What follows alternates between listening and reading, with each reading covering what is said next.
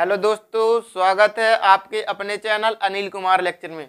Friends, आज की हम इस वीडियो में समझने वाले हैं सदिश और अदिश होता क्या चीज़ है तथा इनके गुणनफल के बारे में भी सीखेंगे। तो देखिए, हम क्या पढ़ने वाले फ्रेंड्स, सदिश और अदिश ध्यान से समझिएगा, एक एग्ज़ाम्पल के थ्रू मैं पूरा कॉन्सेप्ट क्लियर कर दूँगा, ठीक है? तो ध्यान से समझिएगा, देखिए, नाम से स्पष्ट है सदिश मतलब दिशा सहित, जिसमें दिशा साथ साथ हो। मतलब इसमें दिशा क्या होगी? उपस्थित होगी, ठीक है? और अदिश मतलब जिसमें दिशा ना हो, ठीक है? और दोनों में क्या होगा? परिमाण होगा मतलब कोई ना कोई उसकी वैल्यू होगी, ठीक है? उसका मान होगा। अब इसे समझने के लिए हम एक एग्ज़ाम्पल लेते हैं और उस एग्ज़ाम्पल के थ्रू भी हम समझेंगे कि क्या होता है सदिश और क्या होता है अदिश तथा सदिश और अदिश गुणनफल क्या होते हैं? ये सभी चीज़ें भी अपन समझेंगे। तो चलिए एक क्वेश्चन ले लेते हैं और उस क्वेश्चन के थ्रू अपन समझते हैं। ठीक है फ्रेंड्स तो देखिए, अपने एक एक क्वेश्चन दिया गया है A vector equal to I cap plus two J cap plus three K cap और बी वेक्टर इक्वल टू दिया गया है friends two I cap minus J cap plus K cap ठीक है? तो ये दो अपने को वेक्टर दिए गए हैं। अब, इन दोनों वेक्टर में अपने को सदिश गुणनफल एंड अदिश गुणनफल निकालना है। तो देखिएगा, सबसे पहले हम देखते हैं सदिश गुणनफल क्या होता है और अदिश गुणनफल होता क्या चीज़ है और इनको किससे प्रदर्शित करते हैं। ठीक है फ्रेंड्स तो ध्यान से देखिएगा।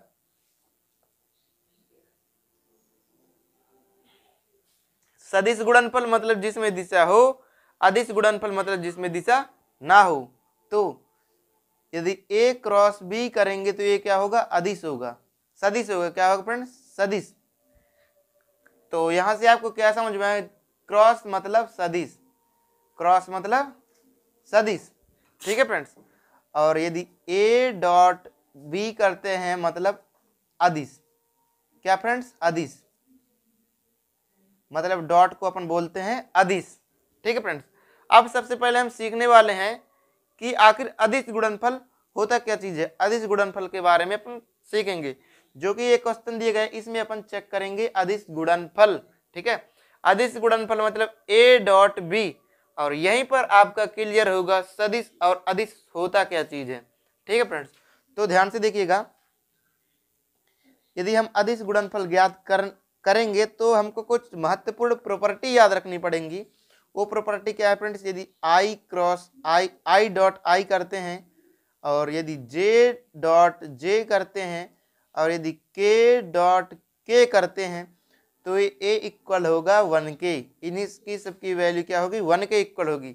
और यही यदि आई क्रॉस आई क्रॉस जे कर दें या जे क्रॉस जे डॉट के कर दें या के डॉट जे कर दें। तो इन सब की वैल्यू किसकी इक्वल होगी फ्रेंड्स ज़ीरो की। मतलब यदि अलग अलग से किया जाए मतलब जे का के के साथ के का आई के साथ और के का जे के साथ किया जाए तो उनका जो डॉट प्रोडक्ट होगा, वो क्या होगा? शून्य होगा। क्या होगा फ्रेंड्स शून्य होगा। ठीक है? और यदि सेम सेम के साथ किया जाए तो वह क्या होगा? इक्वल टू वन होगा। ठीक है फ्रेंड्स तो देखिए, हम अदिश गुणनफल को समझने वाले हैं। मतलब ए डॉट बी को समझने वाले हैं। ठीक है? तो यहाँ पर लिखते हैं ए मतलब I I cap plus two J cap plus three K cap dot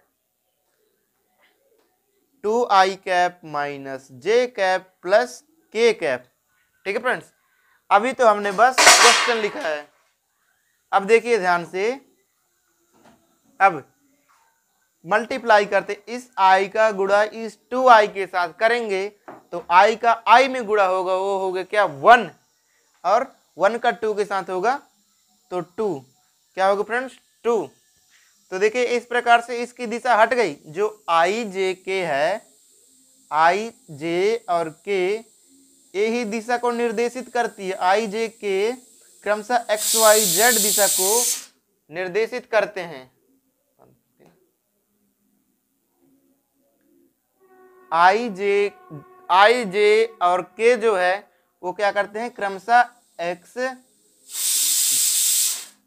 x Y Z दिशा को निर्देशित करते हैं, ठीक है? और यदि जिसमें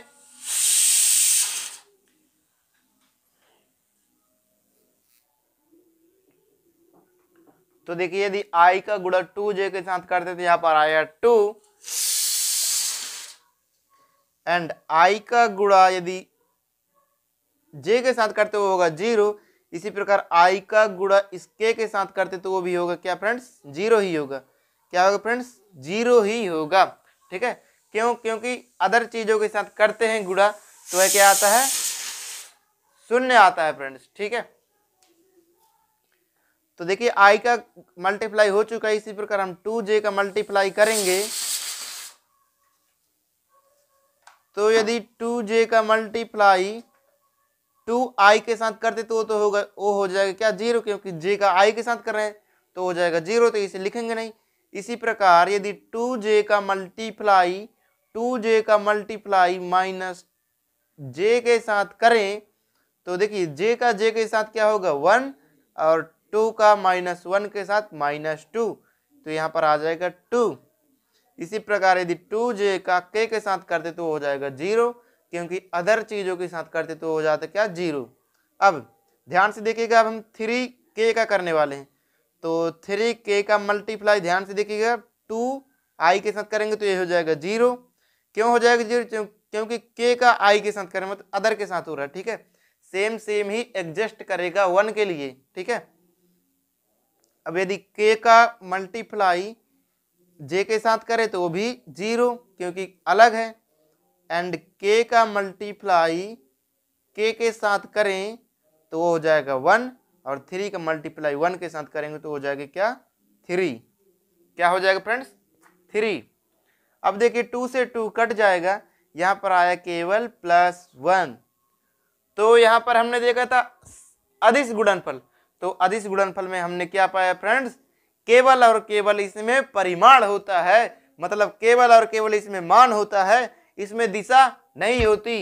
यदि दिशा होती तो उसमें आई जे के होता ही, जो कि क्रमशः एक्स, वाई, जेड को निर्देशित करता। अर्थात, इस एग्ज़ाम्पल के थ्रू हमें पता चला कि कि जो अधिस है, उसमें केवल केवल और केवल परिमाण होता है, दिशा नहीं होती। इसी प्रकार, इसी क्रम में हम देख लेते हैं कि सदिश गुणनफल होता क्या चीज़ है। क्या इसमें सच में दिशा होती है और इसमें क्या परिमाण भी होता है? तो इसे हम चेक करेंगे। तो देखिए क्या चेक करने वाले? सदिश गुणनफल ठीक है फ्रेंड्स सदिश गुणनफल सदिश गुणनफल तो सदिश गुणनफल के लिए कोई प्रॉपर्टी याद नहीं करनी पड़ती। सिंपल आपसे सारणी खल करते बनना चाहिए। सारणी खल करना मतलब देखे तो सदिश गुणनफल के लिए क्या होता है? ए क्रॉस बी ठीक है? ए इसका सिंबल होता है क्रॉस सदिश का। ठीक है? तो देखिए, इसको करने के लिए हम यही वाले क्वेश्चन ले लेते। ठीक है फ्रेंड्स तो देखिए, लिखते हैं क्वेश्चन को I cap I cap plus two J cap plus three K cap. ठीक फ्रेंड्स, ए वेक्टर हो गया into B vector equal to two, I cap minus J cap plus K cap. ठीक friends, ये अपना question लिख गया। अब देखो, अब इसको हल कैसे करते हैं? बेहद ही आसान तरीका है, बहुत ही आसान तरीका, ठीक है? सब कोई कर सकता है, बस इस वीडियो को देखने के बाद, ठीक है? तो देखिए हम करने वाले ए क्रॉस बी ठीक है? तो इसे किस प्रकार से करते हैं फ्रेंड्स? ए क्रॉस बी तो करते हैं सारणी की सहायता से।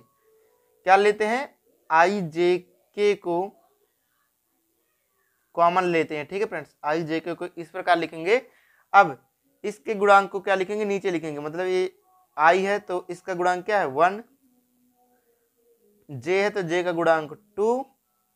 और के के का गुणांक क्या है? थ्री तो गुणांक नीचे लिखना है, ठीक है फ्रेंड्स अब इसी प्रकार यहाँ से आई का गुणांक टू तो टू आई के नीचे जे का गुणांक माइनस वन तो माइनस वन एंड के का गुणांक वन तो वन बस अब इसे हल करना है। यहाँ से अपना सदिश गुणनफल भी ज्ञात हो जाएगा। तो देखिए कैसे ज्ञात करते हैं। यहाँ पर क्या होता है फ्रेंड्स प्लस यहाँ पर होता है माइनस एंड यहाँ पर होता है प्लस ये चीज़ें आई होप आपको याद होंगी, ठीक है? क्योंकि ये क्लास ट्वेल्थ से पढ़ते हुए आप लोग आ रहे हैं, ठीक है? तो यहाँ से यदि हम आई कैप लें, क्या लें? आई कैप लें। यहाँ से यदि आई कैप ले तो ये वाला और ए वाला कट जाएगा, ठीक है? इसके आमने सामने वाली चीज़ें कट जाती हैं, सिर्फ़ अपना बचा टू वन और माइनस वन थ्री देखिए मल्टीप्लाई कर टू का वन के साथ तो टू और बीच में होता है माइनस और माइनस वन का गुड़ा थ्री के साथ करेंगे तो ये हो जाएगा प्लस थ्री। ठीक है फ्रेंड्स? ये आई आई ले लिए। अब इसी प्रकार लेते हैं जे। जे कहे में आएगा माइनस में क्योंकि यहाँ पास जे होता है माइनस का। ठीक है? हर चीज़ यहाँ पास माइनस की ही होगी। ठीक है? तो यदि हम जे लेते हैं तो जे के सामने वाली सारी चीज़ें कट जाएँगी। ठीक है? अब बचा के वन वन तो वन का गुड़ा वन के साथ तो वन एंड टू का गुड़ा थ्री के साथ तो माइनस सिक्स। ठीक है फ्रेंड्स? उसके बाद क्या होता है? प्लस तो यहाँ पर लिखेंगे प्लस के कैप ठीक है फ्रेंड्स? अब देखिए यदि प्लस के कैप लेती तो ये वाली और ये वाली चीज़ कट जाएँगे बच्चे का। वन का मल्टीप्लाई माइनस वन के साथ तो हो जाएगा माइनस वन एंड टू का मल्टीप्लाई टू के साथ तो हो जाएगा माइनस फोर ठीक है फ्रेंड्स? ध्यान से देखिएगा, यहाँ पर लिखते हैं उसी चीज़ को। देखिए, यहाँ पर टू प्लस थ्री मतलब फाइव आई कैप तो ये हुआ five I cap and one में से माइनस सिक्स जाएगा तो यहाँ पर बचेगा माइनस फाइव और माइनस फाइव का मल्टीप्लाई माइनस जे के साथ होगा तो प्लस जे कैप ठीक है फ्रेंड्स इसी प्रकार माइनस माइनस वन और माइनस फोर ये दिया गया माइनस वन और माइनस फोर ये दोनों ऐड होंगे तो माइनस फाइव और माइनस फाइव का के के साथ करेंगे तो माइनस फाइव के। तो देखिए, यहाँ से अपने को पता चला कि इसका कोई ना कोई परिमाण तो होता है। साथ साथ इसमें दिशा भी दी गई है। क्या दिशा दी गई फ्रेंड्स? कि आई एक्स की ओर निर्देशित करता है, एक्स अक्ष की ओर, and J. J Y Y अक्ष की ओर दिशा निर्देशित करता है एंड के जेड अक्ष की ओर दिशा निर्देशित करता है। मतलब यहाँ पर हमने देखा कि कैसे किसी सदिश में दिशा भी होती है और परिमाण भी होता है, ठीक है? और हमने ये भी देखा कि कैसे किसी अदिश में केवल और केवल परिमाण होता है, दिशा नहीं होती। तो आई होप फ्रेंड्स आपको ये वीडियो पसंद आई होगी। यदि आपको ये वीडियो पसंद आती है तो वीडियो को लाइक कीजिएगा और चैनल को सब्सक्राइब कीजिएगा, जिससे इसी प्रकार की हेल्पफुल वीडियो आपको टाइम टू टाइम मिलती रहे। So guys thanks for watching my video please subscribe this channel thank you friends